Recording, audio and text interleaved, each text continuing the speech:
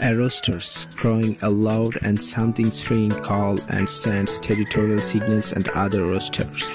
However, roosters may also crow in response to sudden disturbance with their surroundings. Hens caw loudly after laying an egg and also call their chicks. Chicks also give different warning calls when they sense a predator approaching from the air on the around.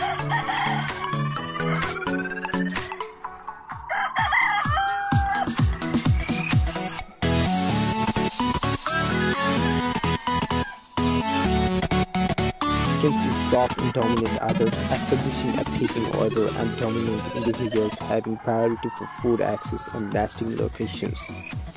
Removing hen or roosters from a flock causes a temporary disruption to this social order until a new pecking order is established. Adding hands, especially younger birds, to existing flock can lead to fighting and injury. When a rooster finds food, he may also alert chickens to eat fast. He does this by flogging at high pitch as well as picking up and dropping the food. This behavior may also be observed in mother hens to call their chicks and encourage them to.